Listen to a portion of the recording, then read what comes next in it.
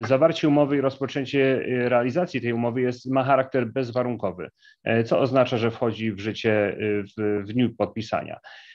Okres trwania umowy jest do końca 2025 roku. Rozpoczęcie produkcji komercyjnej będzie miało miejsce w grudniu tego roku. Do tego momentu też opiszemy za chwilkę, co się będzie działo w spółce.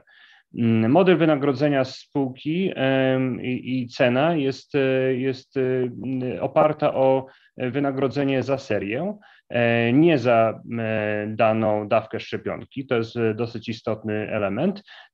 Cała cena jest ustalona na całość trwania umowy.